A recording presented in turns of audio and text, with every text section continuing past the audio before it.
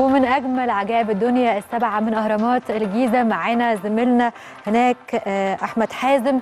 طبعا دلوقتي بتقام بطولة السيدات الدولية أو بطولة العالم للسيدات آه، في الاسكواش وكمان بطولة مصر الدولية سكواش رجال. مساء الفل عليك يا أحمد.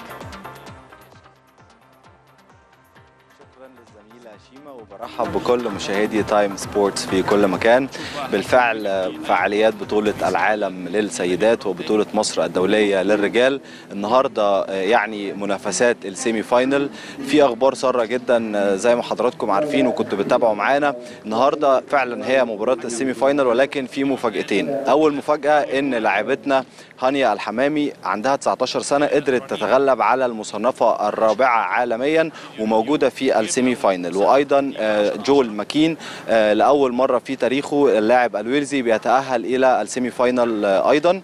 طبعا زي ما حضراتكم عارفين البطولة فيها 22 دولة مختلفة.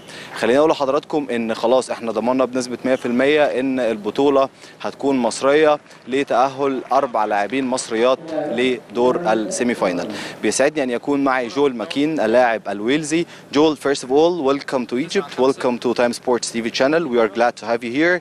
Uh, for the first time in your history to be qualified in the semi-final I believe it's a very big honor for you and uh, also uh, you gained a lot of experience tell me about this experience to be qualified for the semi-final and for being here in Egypt Yeah, definitely. I've uh, I'd only made one quarter-final before, so uh, even getting to the quarterfinals was, uh, and then getting on towards the semis this week was, uh, yeah, it was big for me. I got a good win in the first round. I played Tarek Momin, who's up at three in the world. Um, he's been playing some great squash this season, so that was a big win for me. Um, yeah, I mean, Guad was impressive today. I thought he. Uh, he played to the conditions well. He, he was moving well, and he was very smooth in reading the play. So um, he made it very difficult to me, and he was uh, his quality was better tonight, definitely.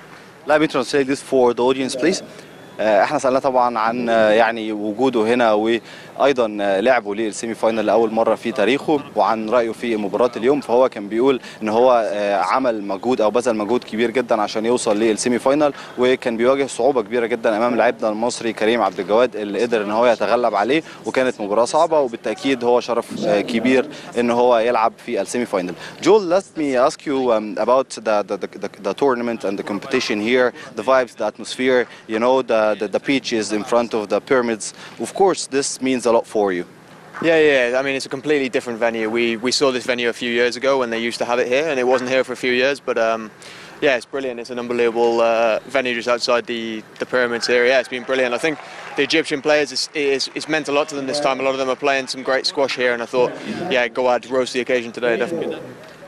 إحنا سألناه عن رأيه في وجود الملعب أمام الأهرامات ولعبه في هذه البطولة أمام الأهرامات في بطولة العالم فبيقول إن ال- ال- الأمر لا يصدق يعني فوق الخيال وهو مبسوط جدا إن هو قدر يشارك في البطولة ويلعب أمام الأهرامات. Joel, uh, let me ask you. Let's exclude the squash uh, from from our conversation and let's talk about uh, Egypt. Um tell me about your accommodation here. Tell me about uh, the, the the colleagues. Of course, you have colleagues from the squash. What what's the feedback from your colleagues and what's the feedback uh, from from uh, from yourself uh, with regards being here and the atmosphere and everything? Yeah, yeah, I mean, again, it's been great. The venue is very different, isn't it? Um, I think it's great tonight that there's a big turnout in the crowds and things like that. I think that's one of the things that's been missing earlier on in the week. It was a little bit quiet, but I think um, it's great there's good support here because squash is so strong in Egypt and it's so popular. It's great to see a big turnout. I mean, yeah, the hotel and everything nearby is uh, it's all been nice, and yeah, I've enjoyed it so far. إحنا سألناه عن آه، آه، وجوده في مصر بشكل عام وعن المنافسين فبيقول إن المنافسين أقوياء جدا بالذات إن اللاعبين المصريين هم الأقوى في العالم وأيضا كان بيثني على الإقامة وعلى آه، ال ال ال الأماكن السياحية اللي موجودة في مصر. جول you are unfortunately you didn't manage to make it to the final but it's it's it's a great challenge for you. Uh, tell me now what's your uh, ambitious what's your target? What are you up to uh, in the future? And what also you are looking for in your next step Um, we go to the World Championships next week, actually, in Qatar. So um, I got to get back uh, tomorrow as soon as possible, get a few days at home, and then we leave on Wednesday for Qatar. Uh, so that's the next big tournament for us. It's the World Championships, same as the women's is the World Championships here. Um, yeah, I mean, it, I want to get up towards the top eight as soon as possible. So then I want to meet players like Tarek Momin in the first round, um, and I'll be getting consistently to the later stages. إحنا سالناه طبعا عن الخطوه المقبله بالنسبة ليه يمكن هو ما قدرش ان هو يتاهل للنهائي فايه طموحه في الفترة القادمه فبياكد ان هو هيرجع لبلده مره أخرى يستعد لبطوله العالم القادمه اللي هتقام في دوله قطر. Uh, uh, I want to know uh, what are the places that you visit in Egypt? What type of food you, have you tried? The, the Oriental food, I believe the Oriental food or the Egyptian food is so tasty, man, and it's you know risky. yeah, yeah. I mean, I haven't had very much this week of the uh, the food. I've been trying to be very uh, very sensible with what I was eating, just because uh, we we're not used to the food here, so we we have to be careful. You know, we can get it ill before playing. It's not very good. Yeah, so um, just eating really plain food for the last couple of days. Yeah, that's all. Yeah, it's been good. طبعا سالناه عن آه، الاكل طبيعه الاكل المصري أكيد بيكون آه، آه، لذيذ جدا بالنسبة للاجانب فكان بيثني على الاكل المصري ولكن هو ما قدرش ان هو يتقل في الاكل خوفا يعني من التاثير على مستواه في البطوله.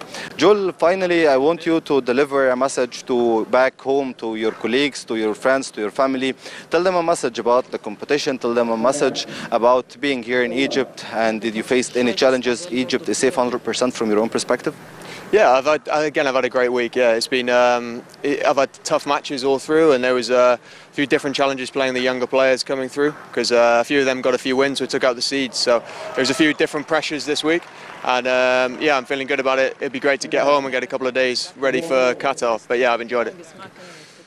طبعا آه، يعني حبينا ان هو يوجه رساله لزملائه ولعائلته آه، في ويلز عن وجوده في مصر فاكد ان هو لم يواجه اي صعوبات وكان مبسوط جدا بالتواجد هنا في مصر واللعب امام منافسين اقوياء آه، جدا وهو بيتطلع لزياره مصر مره أخرى. جول it has been my pleasure to interview you today and uh, it's our pleasure to have you in Egypt anytime and also we are looking forward to have you in the future in many upcoming uh, events. Thank you for being with us and we wish you the best of luck. Yeah, thank you. That's been great. Thanks.